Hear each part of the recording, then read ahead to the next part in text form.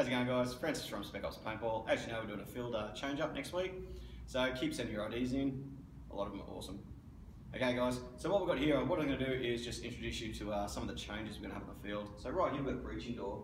So as you can see, now on, instead of uh, coming up to the door during your hostage recoveries, you're actually going to have to make entry through it. And this is what you're going to use. The good old sledge. Okay, so all you do is come up guys, walk up, walk around the fire, and the door open.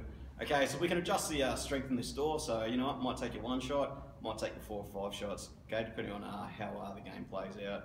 Okay, we've got heaps of other uh, exciting things uh, coming up for the gameplay, so guys, keep sending your ideas and we'll see how many, how many of these we can uh, put forward.